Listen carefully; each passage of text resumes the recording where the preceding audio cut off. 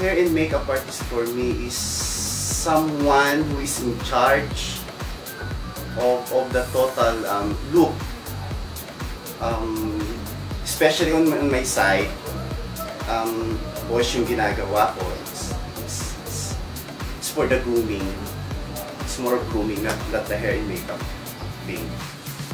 So, kumbaga ako yung in charge ng para maganda yung tsura nila on, on cam and on print. Um, when was my biggest break? Um, showbiz. My biggest break was um, 20, 2000, sorry, 2000. Um, I have a friend, Larry Assistin, who asked me to, to do a trial makeup for, for ASAP.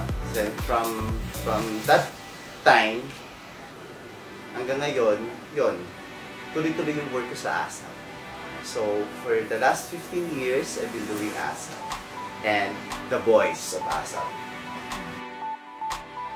Hi, I am Pep Silvestre and I got spotted.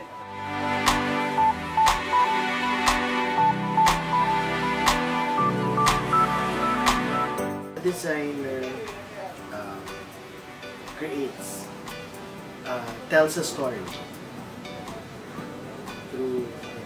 clothes, yeah, fabric, storytellers and designers. And, uh, um, stylists, uh, for me, studies the, the their their subjects, their, their, their clients. Um, they, they, they make sure that the right uh, aesthetics, the figure of the, the, the celebrity fits the, the clothes that they, they pull out, they get. How I work. Sometimes, um, ang brain ko gumagana middle of the night. Diba? So, bigla na akong gigising na ganyan. Then I would start sketching. So, research. Bigla, or, or, when I, when I travel, when I, ano, may makita lang ako.